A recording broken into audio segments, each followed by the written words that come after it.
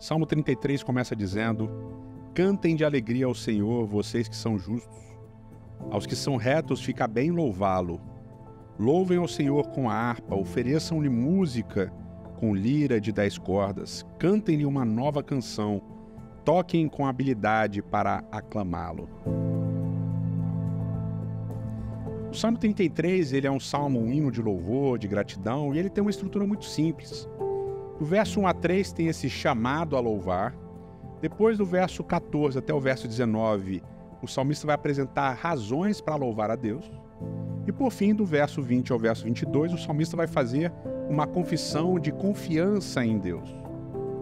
Dentre as várias razões que o salmista apresenta para que nós louvemos a Deus, a primeira, no verso 4 e no verso 5, é pelo caráter de Deus. Deus é justo, Deus é bom, Deus é amoroso, Deus é verdadeiro. A segunda razão que ele apresenta, do verso 6 até o verso 9, vai falar sobre coisas que Deus criou, Deus como poderoso criador de todas as coisas. A terceira razão, dos verso, do verso 10 até o verso 12, fala do conselho divino. Lembra aquela família, aquele conjunto de testemunhas que falam sobre Deus? E por fim, a última razão, do verso 13 até o 19, é porque Deus ele se preocupa com o ser humano. Ele está olhando para a gente, ele está preocupado com os nossos caminhos, com as nossas ações. O que é interessante desse salmo são duas coisas aqui que a gente pode elaborar.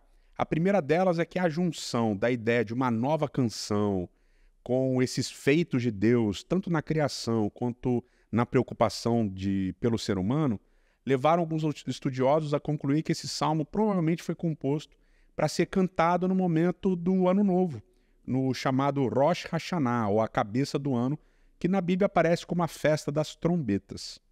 A festa das trombetas é, na tradição judaica, o momento em que você comemora a criação e a entrada de um novo ano. E é por isso que esse salmo, segundo alguns estudiosos, seria cantado nesse momento. O segundo aspecto interessante, que eu acho fenomenal, é que esse salmo ele é uma espécie de composição para um grande coro, com vários instrumentos, quase que uma orquestra completa, em que Deus vai ser louvado. É como se fosse uma apresentação é, grandiosa, espetacular, é uma coisa realmente impactante. E um, um detalhe é que ele diz que esse salmo deve ser executado com habilidade e beleza. Quando a gente vai louvar a Deus, quando a gente vai exaltar a Deus, além de elencar as várias razões para isso, é importante para o salmista aqui, nesse salmo, que a gente faça com muita beleza e com muita arte, com muita técnica. Deus é um Deus que gosta de coisas belas, de coisas bonitas. Louvemos a Ele com a nossa arte.